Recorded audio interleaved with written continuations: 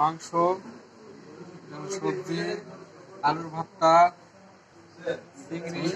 কিন খাওয়া মানে হলো পাবদা মাছ। এটা কি ভাই? খুশি খুশি কুশি ভাজা চিচিঙ্গা যাকে বলে। এটা কি? লাল শাক। এটা হলো রুই মাছ। এটা হলো? বড় আন্ডা ভাই খুশি